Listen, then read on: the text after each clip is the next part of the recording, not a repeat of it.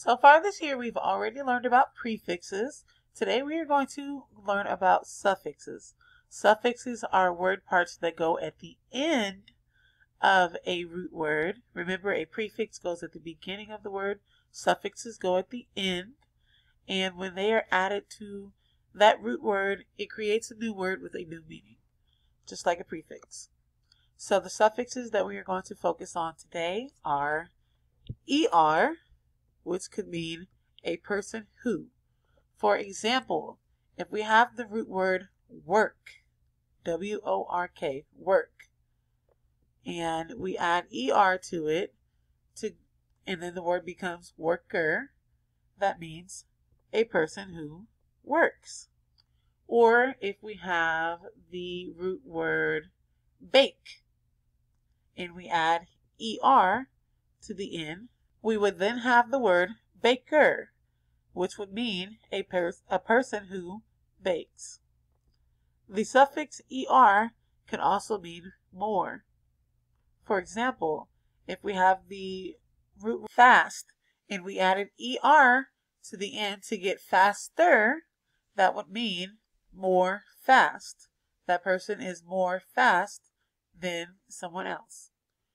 Uh, another example would be the word, if we added the suffix er to the root word tall, that would give us the word taller. That means they are more tall.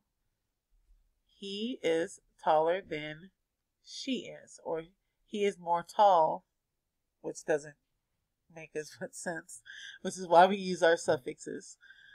Um, the next suffix that we are going to go over is est, est. This means most.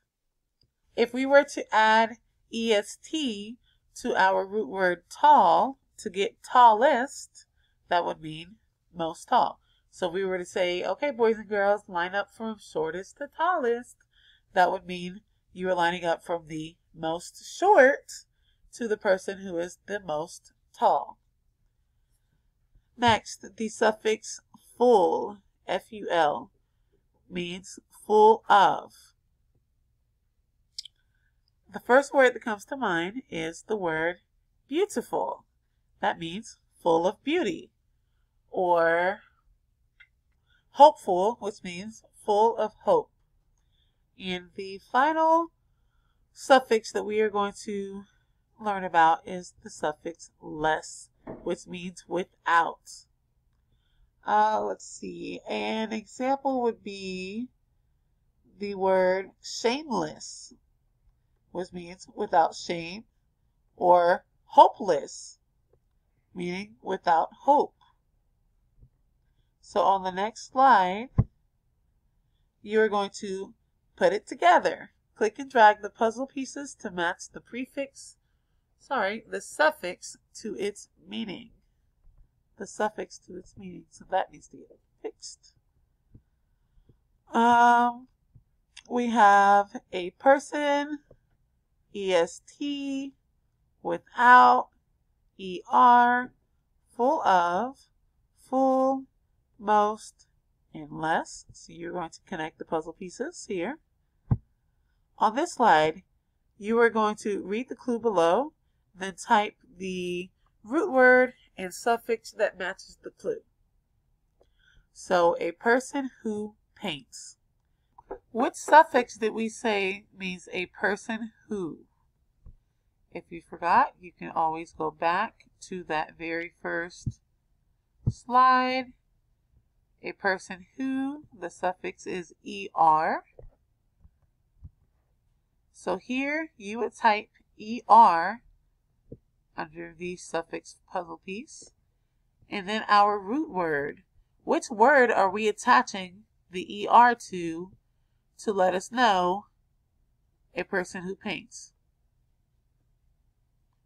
Here would be paint. So a person who paints would be painter. You're going to do the same for the remainder of these slides, we have the most tall. So which suffix means the most or most. And then what is the root word that you're adding that suffix to? More, small. Full of color. Without fear. That is all that we are going to do with the suffixes for today.